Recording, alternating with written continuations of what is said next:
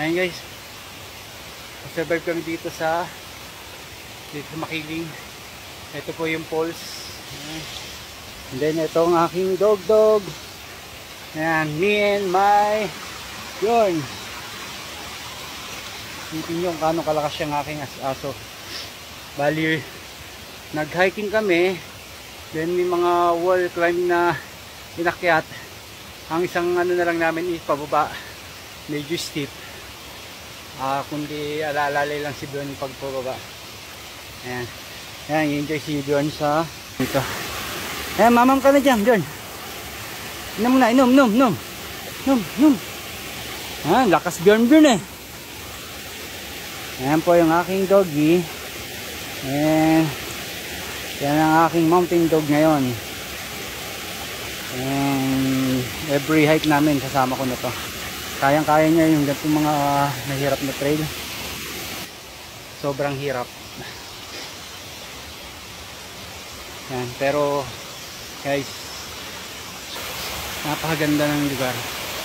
Ayan po. Sabi tayo po man, no, bawal tumugturo ng makiling. Nangasya lang po kami. Ayan po yung pulse dito. Ah, kung hindi natin kasama yung dogo kami mag-ahawak dito, akitin sana natin yung pirata. Si kuya, makit ng dumong diretso, ayusin mo yung tubig. Diyan sila kasi nakuha ng tubig pababa. Ayan yung mga pas nila. Eh, nagbara daw, walang natulo. Kaya inayos nila. Ah. Ayan guys. Ito nyo ang kanong kalakas doon. Ayan. Yan po, apples na rin po yan, yung kabilang side na yan, pababa. Malaking taas yun. Bali ngayon lang guys nagkatubig dito. Kasi ngayon lang nag-uulan. Pero dati nung nung unang akit ko rito, wala, walang katubig-tubig to. As in talagang dry. May napatak konting-konti na lang. Eh ngayon ito, malakas ng tubig kasi umulan. Ah, lahat yan ay galing sa bundok yung yung tubig na yan. Bali ang ano niyan, pag inakyat yan, trail pa rin po yan, labas na yan ay mismong UP Baños na. Pero mahaba-haba pa rin akyatin yan.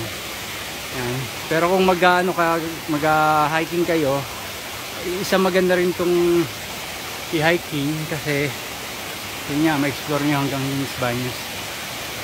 Pero pag ginawang part to, yun, suwabing suwabe. Uh, Bali lalagyan lang ng maganda-gandang trail ito. May trail naman siya kaya lang di ganun kalinis.